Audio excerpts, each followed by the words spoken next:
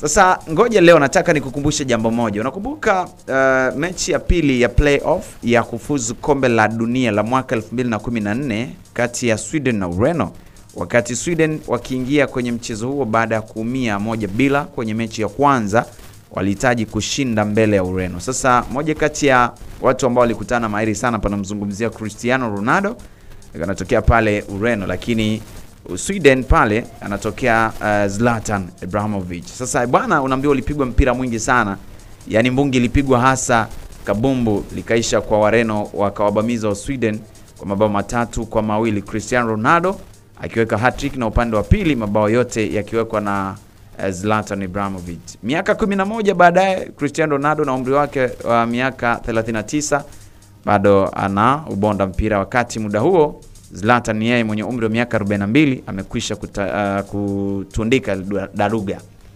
Kesho Alhamisi eh, Ureno inatarajia pia ama itashuka uwanjani kwa ajili ya kukiwasha kwenye michuano ya Euro 2024 kujiandaa eh, dimbani, itashuka dimbani kukabiliana na Sweden kwenye mchezo wa kirafiki. Sasa unahisi ni nani ambaye anaweza kuibuka na ushindi? Unaweza pia tu kuachia komenti yako hapo, itakuwa ni poa sana na itakuwa utatuambia, je, ni wa Swedish ama wa Ureno pale Ureno kina Cristiano Ronaldo. Kufikia hapo mimi natamatisha. Ni Talent TV, asante wewe ambaye umekaa na sisi kunako mitandao yetu ya kijamii. Kama bado hujasubscribe, basi nakuomba fanya hivyo, lengo ni kupata taarifa zetu zote. Mimi sina la ziada, langu jina Ali Mshana.